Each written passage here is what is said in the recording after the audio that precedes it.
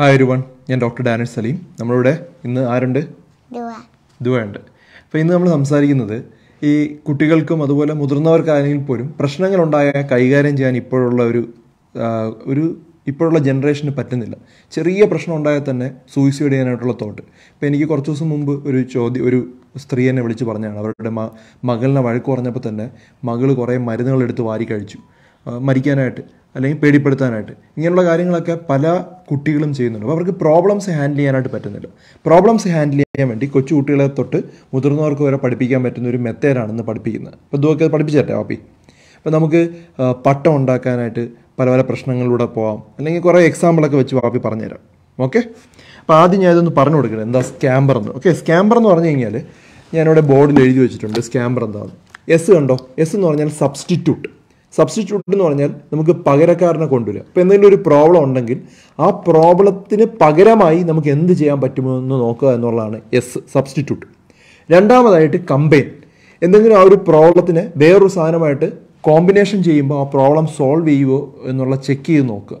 അപ്പോൾ അതിനാണ് കമ്പൈൻ എന്ന് പറയുന്നത്.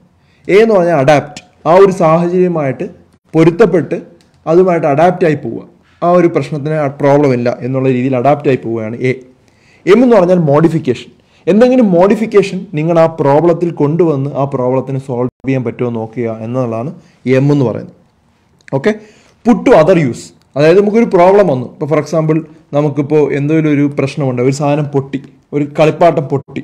അപ്പോൾ ആ കളിപ്പാട്ടത്തിന്റെ ടയറുണ്ട് നമ്മുടെ ഒരു ടോയ് കാറാണ് പൊട്ടിയെങ്കിൽ ആ ടയർ വെച്ച് വേറെ എന്തെങ്കിലും ഉണ്ടാക്കാൻ പറ്റുമോ? വേറെ എന്തെങ്കിലും ഗെയിം ഉണ്ടാക്കാൻ പറ്റുമോ എന്നുള്ള ചിന്തിക്കുക എന്നുള്ളതാണ് പുട്ട് ടു അതർ യൂസ് എന്ന് ഉദ്ദേശിക്കുന്നത്. ഈ എന്ന് പറഞ്ഞാൽ എലിമിനേറ്റ് അതിനെ കംപ്ലീറ്റ് ആയിട്ട് എടുത്ത് മാറ്റുക. പിന്നെ നമ്മൾ അതിനെക്കുറിച്ച് ആ പ്രവർത്തനത്തെക്കുറിച്ച് ചിന്തിക്കാനേ പാടില്ല എന്നുള്ളതാണ് ഈ എലിമിനേറ്റ് അടുത്തത് ആറെന്ന് പറഞ്ഞാൽ റിവേഴ്സ് അല്ലെങ്കിൽ ഔട്ട് ഓഫ് ദി ബോക്സ് ആയിട്ട് ചിന്തിക്കുക. നമ്മൾ ഇതുവരെ ചിന്തിക്കാത്ത രീതിയിൽ ഒരു പുതിയൊരു രീതിയിൽ ചിന്തിക്കുക എന്നുള്ളതാണ് ഈ സ്കാമ്പർ എന്നുള്ള മെത്തേഡ് വളരെ എഫക്റ്റീവ് ആയിട്ടുള്ള ഒരു മെത്തേഡ് അപ്പം ഞാനൊരു ഉദാഹരണം പറയാം.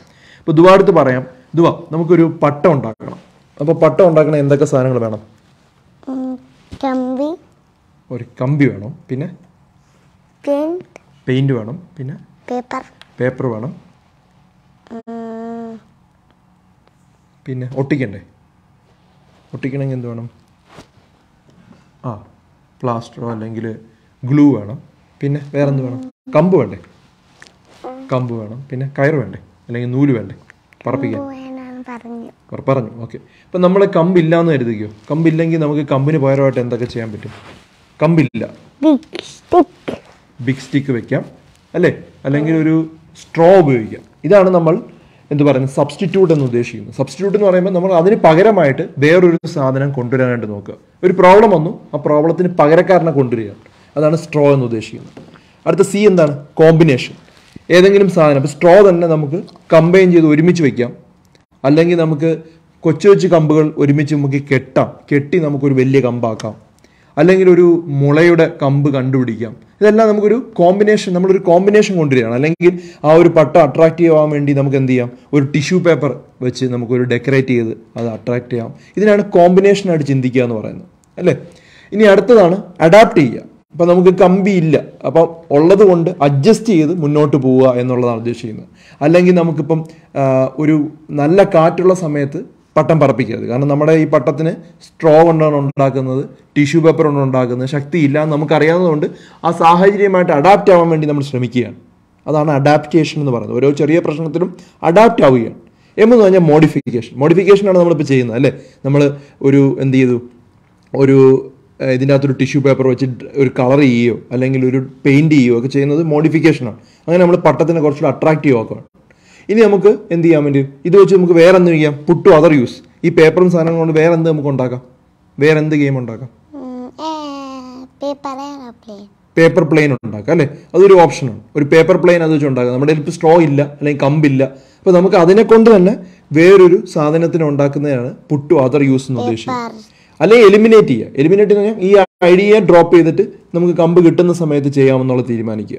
ഇനി ആറെന്ന് പറഞ്ഞാൽ ഔട്ട് ഓഫ് ദി ബോക്സ് ചിന്തിക്കുക. ഒരു കടയിൽ പോയി വാങ്ങിക്കുക. അല്ലെങ്കിൽ ഒരു കട ഒരു ഒരു കമ്പുള്ളിടത്ത് പോയി അത് ചോദിച്ച് വാങ്ങിക്കുക. അല്ലെങ്കിൽ നമ്മളത് വേറൊരാളെ കൊണ്ട് ഉണ്ടാക്കിപ്പിക്കുക. അങ്ങനെയുള്ള പല ഔട്ട് ഓഫ് ദി ബോക്സ് ചിന്തിക്കുക എന്നുള്ളതാണ് സ്കാമ്പർ ഇത് എല്ലാവർക്കും ഉപയോഗിക്കാൻ പറ്റുന്ന മെത്തേഡാണ് ഇപ്പോൾ ഒരു റെസ്റ്റോറന്റ് എന്റെ ഒരു കൂട്ടുകാരൻ ഇപ്പോൾ റെസ്റ്റോറന്റ് സ്റ്റാർട്ട് ചെയ്തു. അപ്പോൾ റെസ്റ്റോറന്റ് സ്റ്റാർട്ട് ചെയ്തപ്പോൾ അവിടെ കടയിലൊന്നും ആളുകളൊന്നും പോകുന്നില്ല. അപ്പോൾ ഇപ്പോഴും നമുക്ക് ഈ സ്കാമ്പർ മെത്തേഡ് ഉപയോഗിക്കാവുന്നതാണ്. എന്താണ് സി എസ് എസ് എന്ന് പറഞ്ഞാൽ സബ്സ്റ്റിറ്റ്യൂട്ട് ഇപ്പം നമ്മുടെ ആ മെനു മെനുവിലുള്ള സാധനങ്ങൾ ആൾക്കാർക്ക് ഇഷ്ടപ്പെടുന്നില്ല അല്ലേ? നമ്മുടെ ആ ഇൻഗ്രീഡിയന്റ് അല്ലെങ്കിൽ സാധനങ്ങൾ ഇഷ്ടപ്പെടുന്നില്ല ആൾക്കാർക്ക്. അപ്പോൾ എന്ത് ചെയ്യണം? സബ്സ്റ്റിറ്റ്യൂട്ട് ചെയ്യുക. നമ്മുടെ ഇൻഗ്രീഡിയൻസിന് നമ്മൾ വേറൊരു സാധനങ്ങൾ എന്തെങ്കിലും പുതിയ പെപ്പറോ അല്ലെങ്കിൽ എന്തെങ്കിലും സ്പൈസസോ അല്ലെങ്കിൽ എന്തെങ്കിലും പുതിയൊരു സാധനം കൊണ്ടുവന്ന് അതിന്റെ അകത്ത് ആഡ് ചെയ്ത് ആ സാധനത്തിന് തന്നെ സബ്സ്റ്റിറ്റ്യൂട്ട് ചെയ്യാനായിട്ട് ശ്രമിക്കുക. അതാണ് ആദ്യത്തെ മെത്തേഡ് കോമ്പിനേഷൻ കോമ്പിനേഷൻ എന്ന് പറഞ്ഞാൽ ഫ്യൂഷൻ പല ഫ്യൂഷൻ ഫുഡുകളുണ്ട് ഇപ്പോൾ ഫ്യൂഷൻ ഫുഡ് എന്ന് പറഞ്ഞു കഴിഞ്ഞാൽ ഇപ്പോൾ നമുക്ക് രസവട എന്ന് പറയുന്നത് ഒരു ഫ്യൂഷൻ ഫുഡാണ് അല്ലേ? രസമുണ്ട് വടയുണ്ട്. അത് വട രണ്ടും ഒരുമിച്ചാകുമ്പം രസവട.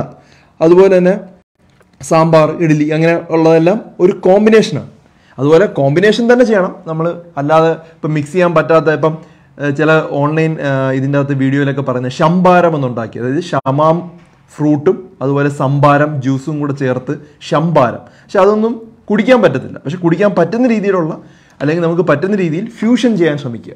അപ്പോൾ ആ ഒരു പ്രോബ്ലം അല്ലെങ്കിൽ ഒരു സാധനം കമ്പൈൻ ചെയ്യാൻ ശ്രമിക്കുക. കമ്പൈൻ ചെയ്യുമ്പോൾ രസവട പോലെ നമുക്കൊരു സാധനം ഉണ്ടാക്കി അത് ചിലപ്പോൾ ആ ഒരൊറ്റ സാധനത്തിലായിരിക്കും നിങ്ങളുടെ കച്ചവടമേ മാറിപ്പോകുന്നത്.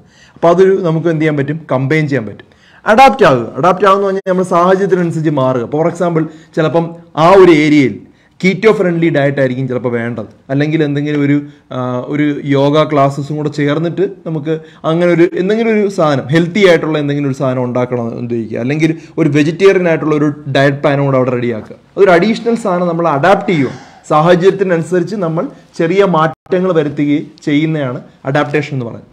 പിന്നെ അതിനുശേഷം മോഡിഫിക്കേഷൻ ഈ കടയിൽ തന്നെ ഡെക്കറേറ്റ് ചെയ്യുക. ഇപ്പം എന്തെങ്കിലും ഒരു ഒരു ഫോറസ്റ്റ് ലുക്ക് ഉണ്ടാക്കുക അല്ലെങ്കിൽ അതിന്റെ അകത്തൊരു ഒരു തീം ഉണ്ടാക്കുക എന്തെങ്കിലും ഒരു സാധനത്തിൽ മോഡിഫിക്കേഷൻ കൊണ്ടുവരിക. ആ കടയിൽ തന്നെ വേറൊരു രീതിയിൽ. ഒരു ഇപ്പോൾ ഫോർ എക്സാമ്പിൾ പല ട്രക്കുകളിൽ ഇപ്പോൾ ഫുഡ് കൊടുക്കുന്ന രീതിയിലോ അല്ലെങ്കിൽ നമ്മൾ ഈ ഷിപ്പിലൊക്കെ ഉള്ള ക്യാരി ചെയ്യുന്ന പോലത്തെ കണ്ടെയ്നറിൽ ഇപ്പോൾ ഫുഡ് ഫുഡ് കൊടുക്കുന്ന രീതികളൊക്കെ ഉണ്ട്. അപ്പോൾ ആ രീതിയിൽ മോഡിഫൈ ചെയ്യുന്നതും ഒരു മാർഗമാണ്. മോഡിഫൈ ചെയ്ത് കംപ്ലീറ്റ്ലി മോഡിഫൈ ചെയ്ത് നമ്മൾ വീണ്ടും ഒന്ന് റീബ്രാൻഡ് ചെയ്യുന്നതിനാണ് മോഡിഫിക്കേഷൻ എന്ന് പറയുന്നത്. പുട്ടു അതർ യൂസ് ഒരു മാർഗവുമില്ല. വേറെ ഒരു മാർഗമില്ല ഈ കടയിൽ ആളുകളെ വരുന്നില്ലെങ്കിൽ നമ്മൾ ഉണ്ടാക്കി വെച്ചേക്കുന്ന മെനു നമുക്ക് എന്ത് ചെയ്യാം? ഒരു ഹോം ഡെലിവറി ആയിട്ട് ചെയ്യാം. ഈ സാധനം ഒരു ബുക്കായിട്ട് ഇറക്കാം. ഇതെല്ലാം പുട്ടു അതർ യൂസ് എന്നുള്ള രീതിയാണ്. വേറൊരു രീതിയിലോട്ട് അതിനെ കൺവേർട്ട് ചെയ്യുക. പ്രോബ്ലത്തിനെ വേറൊരു സാധനത്തിലോട്ട് മാറ്റുക എന്നുള്ളതാണ് പുട്ടു അതർ യൂസ് എന്ന് ഉദ്ദേശിക്കുന്നത്. എലിമിനേറ്റ് എന്ന് പറയുമ്പോൾ എന്താണ്? നമ്മൾ കംപ്ലീറ്റ്ലി ഈ പ്ലാൻ ഡ്രോപ്പ് ചെയ്യുക എന്നുള്ളതാണ്. എന്നിട്ട് പുതിയൊരു പ്രശ്നത്തിൽ പുതിയൊരു കാര്യത്തിലോട്ട് നമ്മൾ നോക്കുക. ഈ പ്രശ്നത്തിനെ മറക്കുക എന്നുള്ളതാണ് എലിമിനേറ്റ് ഇനി അവസാനത്തത് എന്താണ്? പിന്നെ ഔട്ട് ഓഫ് ദി ബോക്സ് ചിന്തിക്കുക. ഇതൊന്നും മാർഗമില്ലെങ്കിൽ നമുക്ക് വേറെ എന്തെങ്കിലും ഒരു മാർഗത്തിലോട്ട് നമുക്ക് പോവാം. കംപ്ലീറ്റ്ലി ഒരു പുതിയ ഒരു സാധനം ഉണ്ടാക്കാനായിട്ട് ശ്രമിക്കുക. അപ്പം നമുക്ക് ഈ ഒരു സാധനം മനസ്സിലായി. സ്കാമ്പർ എന്നുള്ളൊരു മെത്തേഡ് നമുക്ക് ഏതൊരു ജീവിതത്തിൽ എന്ത് പ്രശ്നം ഉണ്ടെങ്കിലും ഉപയോഗിക്കാൻ പറ്റുന്നതാണ്. എന്തെങ്കിലും ഒരു പ്രശ്നം വന്നാൽ ആദ്യം സബ്സ്റ്റിറ്റ്യൂട്ട് ചെയ്യായിട്ട് നോക്കുക. അതിനെ സബ്സ്റ്റിറ്റ്യൂട്ട് ചെയ്ത് അത് റിപ്പയർ ചെയ്യാൻ പറ്റുമോ നോക്കുക. സി എന്ന് പറയുമ്പോൾ എന്തെങ്കിലും ഒരു സാധനം കമ്പൈൻ ചെയ്ത് കഴിഞ്ഞാൽ അല്ലെങ്കിൽ ആരുടെങ്കിലും ഒരാളുടെ ഫീഡ്ബാക്ക് വരികയോ എന്തെങ്കിലും ഒരു ഐഡിയാസിന്റെ കൂടെ വന്നി അതിനെ ശരിയാക്കാൻ പറ്റുമോ എന്നുള്ളത് നോക്കുക എന്നുള്ളതാണ് കോമ്പിനേഷൻ ഇനി മൂന്നാമത് നമ്മൾ ചെയ്യാൻ പോകുന്ന എന്താണ്?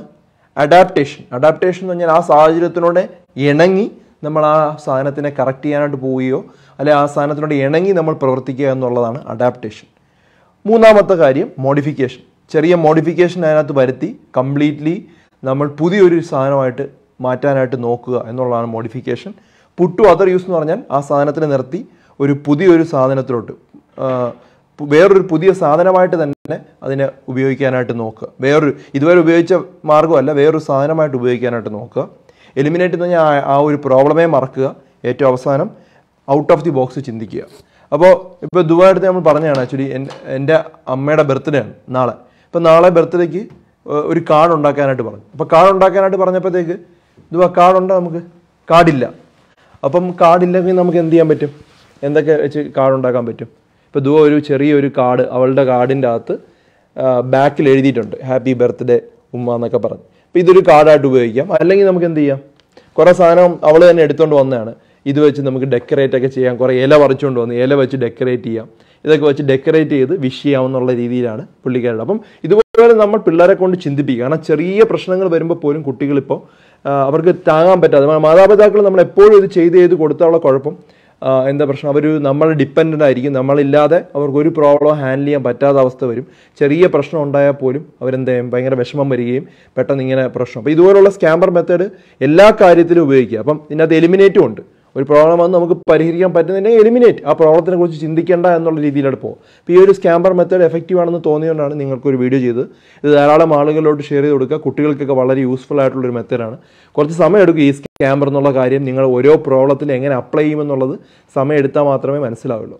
അപ്പം എല്ലായിടത്തും ഹാപ്പി വിഷു പറഞ്ഞേ happy Vishu everyone take care bye bye